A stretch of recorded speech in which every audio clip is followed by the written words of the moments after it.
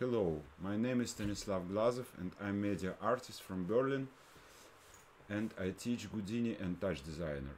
Next week I will start a short online course about usage of Kinect in Touch Designer and in Houdini. Welcome to my course and thank you.